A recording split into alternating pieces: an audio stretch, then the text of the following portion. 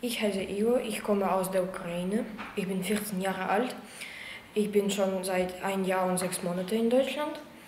Also, und äh, ich wollte meine mittlere Reife Abschluss zu machen und dann eine Ausbildung bei Königin Bauer in Gießereitechnik zu machen. In nächster Woche mache ich noch ein Praktikum in äh, Metallbauer und Kaufmann. Äh, in der Schule gefällt mir sehr gut. Es ist viel besser als in meinem Land. Äh, die Schule ist sehr modern und sehr gut.